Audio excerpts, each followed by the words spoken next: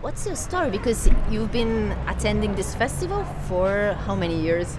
For now, this is our sixth year. Wow. And actually, you come from? We come from Orlando, Florida. So we come from Disney, it's a long way. but we appreciate, I think, more Mito.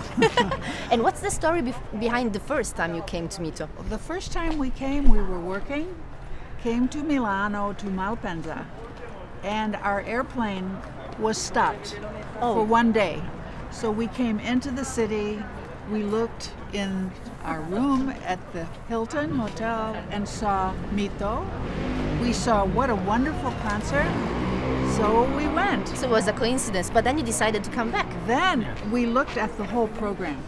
That was what was, and we thought, this is amazing. These wonderful artists, so long a time, and really such a very nice city. We, we love Milan now. We travel on the trams, and we, you know, You listen to good music. yeah, and we listen to this wonderful music. And the the other thing which we have found is the staff of Mito has been so kind to us over the years because when we started we couldn't understand the ticketing and the, so we have They're been very friendly, yes. very nice and very helpful. I must So- say, Linda is a master at figuring out the tram system and the bus system. That's not she can so get, easy. She can get anywhere in this city right now. It's amazing.